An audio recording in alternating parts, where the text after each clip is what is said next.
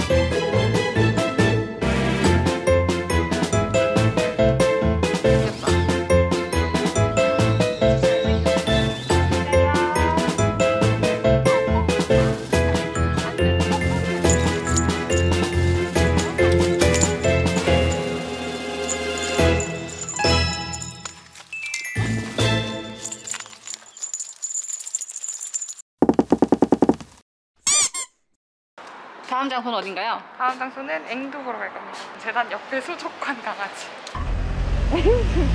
완전히 화났어.